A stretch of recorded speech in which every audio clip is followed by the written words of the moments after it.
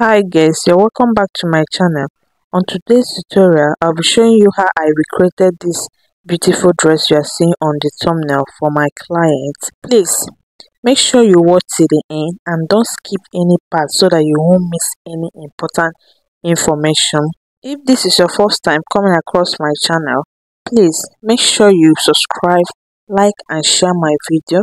Also turn on your notification bell so that you get notified once i upload a new video okay this is the sequence fabric i'll be using for this tutorial. I have three yards here and for the satin i have three and a half yards i'll be using the satin for the cape and for the lining. I'll be drafting on a paper for the purpose of clarity. After drafting i will transfer it to my fabric. Okay this is my pattern paper and i'm gonna head to mark out my vertical line from my shoulder to the chest line is 8.5 from shoulder to bust point is 10 inches. From shoulder to underbust is 13.5. From shoulder to half length is 15.5 inches. The next thing I will do now is to mark her shoulder width. Half of her shoulder width is 7.5 inches. I will also place it on the chest line and I will rule a straight line to connect it. The next thing I will be doing now is to mark her neck width. The neck style for this dress is canoe neck so I will mark 4.5 for the neck width. And for the neck depth I will mark 5 inches. Whatever I use for my front neck width and neck depth is what I will use for my back neck width and neck depth. Please take note of that. After that I will connect it like a canoe neck. Just watch what I'm doing. I'll make my square so I will connect it this way After covering it this way, the next thing I will be doing now is to mark her shoulder slant. I use 1 inch. I will connect it to the neck width. After that, I will divide her chest line depth by 2. I'll get the midpoint. On the midpoint, I will come in by 0.75. This will enable me to curve my armhole. I'll first of all make a straight line. After that, I will divide her round bust by 4. I will place what I got on her chest line. After that, I will connect it. I'll connect my armhole. I will put her body measurement on the screen so that you understand what I'm doing. So the next thing now is to divide her round waist by 4. I will mark the value I got and I will add 1 inch for that intake and I will connect it to the chest line the way you see me doing. After connecting it, I will mark a nipple to nipple measurement which is 4 inches. I will mark it and I will rule a straight line up to her bust point. After that, the next thing I will do now is to divide her shoulder this way. I'll get the midpoint remember that we are making a shoulder princess dart bustier so i got one and a half when i divided it. I'll be adding extra half inch to make it two inches. This is because of the dart intake that we are going to be taking on the shoulder. So after that i will connect it to the bust point but i'll come up by half inch from the bust point line to connect my line the way you see me doing. Can you see the shape that i have so the next thing now I'll be doing is to take my dart on the half length my waistline. I'll take half half inch on the both side. So that's the one inch I replaced when I was marking her round waist measurement so I'll connect it to the bust point. I came down by half inch from the bust point. After that the next thing I will be doing now is to tighten her on the bust so I will be taking one one inch from the first line that's the first dart line. I'll be taking one one each on the both side. Can you see where i place my tape? From the first dart line not the one that i mark for my waist dart intake. After that i will curve it. Just place your pattern master the way you see me doing. I connect it to your nipple point. You do the same thing on this side. Can you see what i'm doing after that i will now roll it straight down. Just connect it. You can come up by 0.25 from this dart leg and you connect it. Can you see what i have? So the next thing now is to take my shoulder dart. So i will be taking one one inch on the both dart lines. This one one inch works for all body sizes you don't need to tighten your shoulder too much. With this one one inch on the both dart line the bustier will still come out well. Just place your pattern master the way i place mine and you connect it. Can you see the shape that i have? So i will clean this square that i made for my neckline so that you won't get confused. After cleaning it i will highlight my line to make it more visible this is the part that i'll be cutting out you can shade it if you want so the next thing i'll do now is to mark what i have here and i will replace it I have two inches i will replace it here so that I will not run shortage of fabric on the shoulder. So I will mark my 2 inches. I will connect my shoulder slant to the 2 inches I marked. After connecting it, I will reconnect the armhole. I'll reconnect it the way you see me doing. If you are watched up to this length and you have not subscribed to my channel, please subscribe to my channel and turn on your notification bell the next thing i'll be doing now is to cut it out so that i can show you how you can draft the back part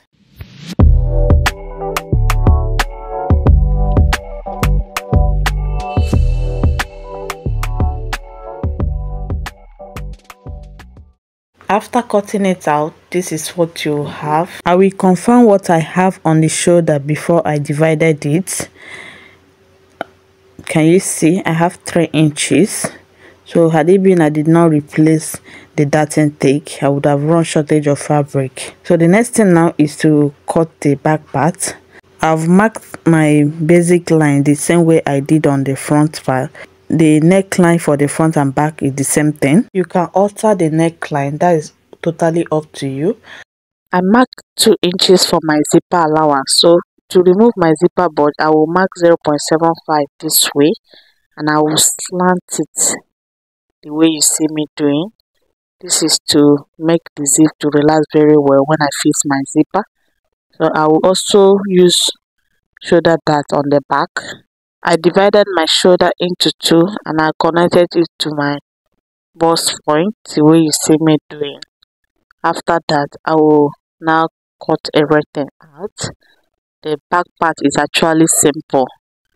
You just need to mark your nipple to nipple point which is 4 inches. Take your zipper allowance. I did not add any sewing allowance on this pattern. I will be adding it on my fabric the next thing I'll be doing now is to show you how I transfer all my pattern paper to my fabric. So I've gone ahead to cut out the lower part of this dress. I'll be uploading the video for the lower part after this one. After cutting the lower part of this dress, I was left with little fabric. To manage my fabric, I will be placing my pattern paper on my satin to cut it out. I just fold it into two. I'll place one part of the front on it and I'll show you how I added my sewing allowance. I'll be adding half half inch on this side. The half half inch I will be using to join it with the other one. If I get to my underboard, I will rule a straight line and I will continue marking the half half inch. I will not be adding any other sewing allowance on the armhole side. On this side front, I'll be adding 3 inches these 3 inches will compensate for all the dart intake I took when I was drafting this pattern. You add 3 inches to be on a safer side. So I will connect it this way and I will cut it out. Remember I told you I will be using my satin as my lining so I will cut out two. I will cut another one for this my side front. So I will go ahead now and place all my pattern pieces both for the front and back on my satin and cut the one I will use to laminate my lace and the one I will use for my lining. So I will go ahead now and do it off camera and come back and show you. This is what i have when i was done. Can you see? I have my back here. I've added my sewing allowance. Did not add any other sewing allowance on the zipper side. Before i laminate my lace on my satin i will iron my a stay on my satin so i will use one part of my back now to show you because i've done for other ones. This is my satin i have ironed my a stay on it. So i will place my lace on the satin. Now i will use my gum. This is b7000 so i will use it to tap on the satin. Just at the tip the way you see me doing. You can use your hemming gum for this but i prefer this one and you use your hand to press it down. This is the ones that i've done. Can you see? They have stitched together. Just watch what i'm doing you will get it right. Can you see what i'm doing? So after that i will do the same thing for all the pieces. This is what i have. For the satin that i will use for my line i iron my tissue gum stay that's soft gum stay on it. This is what i have when i was done. So the next thing i will do now is to cut my padding. You can decide not to pad it but i think the one on my thumbnail was padded. So i place my one of my side front this way and from my underbust i came up by seven inches and i fold it this way to cut it out. Just place it the way you see me doing. Let the foam rest on your underbust. So i will measure five inches for the width of the foam and i will curve it the way you see me doing. I will place it back to trace it out. Can you see what i'm doing? After that the next thing i will do now is to cut it out. After that i will trace the remaining part off. After cutting it out i will notch it on this part that i will be joining with the center front. Can you see? Let me just place it now for you to see what i meant this is what you will have so i will curve this part a little bit. I'll do the same thing on the other side. So the next thing now is to cut the center front. I'll place my center front this way. I'll let the foam rest on the underbust I'll come up by 7 inches. The same thing I did on the side front. You mark it and I will trace it out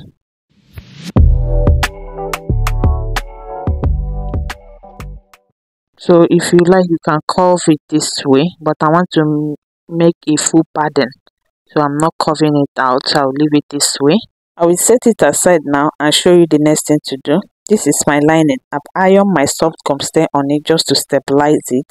So the next thing now is to iron my pattern on my main dress. I'll place it this way and i will insert my hemming gum inside and use my hot iron to press it down so that it can stick together. Can you see what i'm doing? So just place it under it and iron it out. After ironing it you turn it to the right side and iron it. Make sure you make sure you regulate your iron before you press it on your lace fabric so it have stick together. I've done the same thing on all of them. So the next thing now is to join it i'll place it together make sure that it align. Just place the underball. Make sure the underball matches. Use your pin to hold it down. After pinning it down i will mark it with my chalk. Mark your half inch and follow the line and stitch. Can you see the way i marked it? If you can join princess dart bustier or any bustier at all this will be very very easy for you so i will go to my sewing machine and join all the pieces both for the front and back I'll also do the same thing on my lining. I'll do it and come back and show you. Okay, this is what I have when I was done. Just follow the line that you mark and stitch. Can you see what I have? So I will push it to the right side now.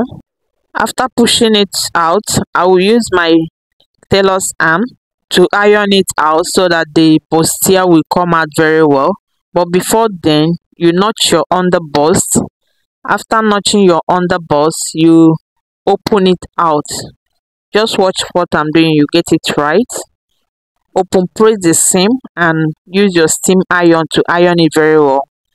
You do the same thing for your lining both for front and back. Also iron the right side of the fabric. Just spread it out can you see what i'm doing you iron it properly this is what you have it's coming out already I also iron the underbust. I'm taking my time to show you how I ironed it because if you don't iron it very well, the bustier will not come out well. After ironing it, this is what I have. I'll also do the same thing on my lining, both for my back parts. Can you see what I have? So the next thing now I will do is to join the lower parts. After joining the main fabric separately, I'll also join the lining separately and I will use the lining to turn the main fabric. Can you see what I have? I use my hemming gum to turn the neckline. I will notch the neckline round. After notching it, I will turn it to the right side. I also do the same thing for the back part. Can you see what I have?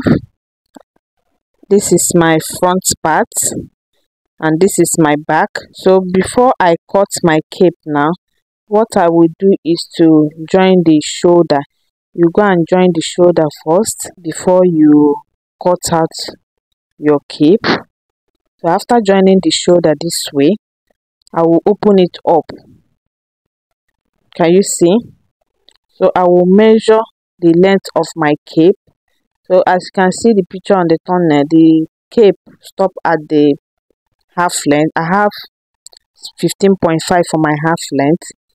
The same thing for the back. So i have 31 inches for the total length of the cape. Can you see? For the cape there are so many methods you can use to cut out the cape you can use half circle flay to cut out your cape for me i'll be using another method because i don't have enough satin fabric. With this method i'm about to show you.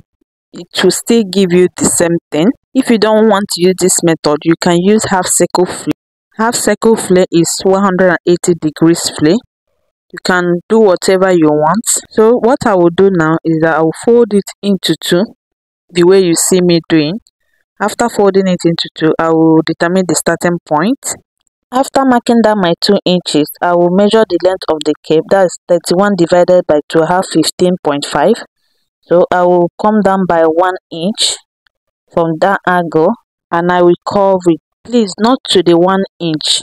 Just watch what i'm doing. You can use your french or pattern master as a guide. Can you see what i'm doing it's like a canoe. Can you see how i draw it? So the next thing i will do now is to measure the width of the cape. For the smaller one i use three inches plus one inch for sewing allowance. That is total of four inches. I will curve it to that one inch i measured down. Okay i've connected it. Can you see what i have? What i did is that i reduced the width of the cape from 4 inches to 3.5 you can measure 6 inches to start your 3.5 that's how you will reduce the curve to the 1 inch. So after that i will cut it out. After cutting it out i will cut another one. I'm cutting four in total two for one sleeve and two for the other sleeve. I'll fold it this way to notch the middle the part i'll be attaching on the main dress i'll be using the same material as lining. So you cut four two for one sleeve and two for the other sleeve. I will cut the remaining sleeve off camera and i will come back and show you how you can cut the bigger sleeve. For the bigger sleeve i'll first of all measure the length. I have 15.5 and I will use the width of 5 inches plus 1 inch sewing allowance. That is 6 inches in total. You also reduce the width. So I will measure 6 inches as a guide so from that 6 inches I'll start reducing it by 5.5 I'll reduce it to 4 3.5 to 1 inch the same thing I did on the smaller one after that I will curve it just follow what I'm doing, you get it right. Can you see what I'm doing? I'll confirm my 15.5. Make sure that at the end of that 15.5, you have 1 inch as your width there. after that i will cut it out. After cutting it out i will cut another three making it four for the bigger cape the same thing i did on the smaller one. So i've cut everything out and i've ironed my stay on the one that i will use for the main piece and the one for the lining. I use soft gum stay. For the smaller cape i have two for the lining and two for the main fabric. The next thing now is to sew it. So i will grab the one i iron my stay and the one i iron my soft gum stay. I'll place it together. To give the cape a structure i use this my crinoline i came down by three inches and i place it this way. I will stitch with half inch before you place your crinoline you trim it off a little bit so i will turn it to the right side now. Can you see what i have? You iron it out. So as you can see the part i iron my stay on is very smooth and neat. Can you see my stay and the part i use my soft conceal is a kind of rough. That's why you you need to use stay to achieve a neat finishing. So i'll place the smaller one and the bigger one together this way.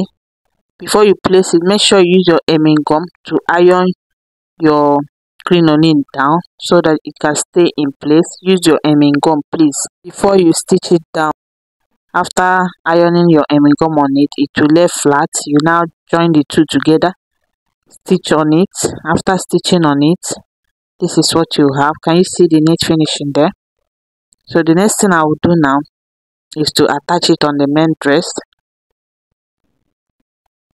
Remember that you turn your fabric with your lining before you attach it. You spread it out this way and you use your pin. You can start from the shoulder. Anyway make sure that the length of your cape is very accurate so that you don't have excess. Can you see the way i place it you stitch it down with half inch. The crinoline is what we made the cape to have that wavy effect. That's the reason for the crinoline so you notch the middle of the cape. You place the cape on the dart line. Just follow the dart line. Use your pin to hold it and you sew. After sewing it will fall down this way I use my manual machine to sew it and I change my needle to size 21 so that it can pass through the foam I use for my pattern. So after pinning it down this way, you sew with half inch I'll sew it and come back and show you what you will have. So I'm done sewing it for the two cape. Can you see what I have? I will spread it out now for you to see what I did. So for this part now, I'll be tacking it down with my hand needle. I'll show you how to do that later. So for the shoulder, I give a space of 1 inch on the two shoulder before I place the cape.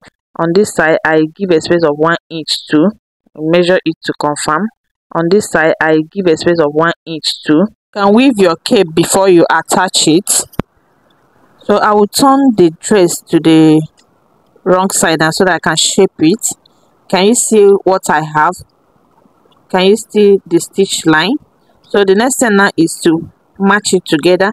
After matching it together i will use my side seam sewing allowance to shape the dress. So i will do that off camera now and come back and show you the next thing that you would do. So i'm done shaping the dress. What i was doing here is that i was tacking it down. Just carefully tack it down. Can you see the one that i've not tacked? You place it together and neatly tack it down i've done this. Can you see? After sewing it you can tie it so that it will not lose you also do the same thing for the back part. For my sleeve i'll just show you how i achieve the band. What you do after cutting your sleeve you now cut out a strap of fabric. You place it this way and you fold it a little and stitch it down. That's what you do on your sleeve that's how i achieve this neat finishing. Thanks for watching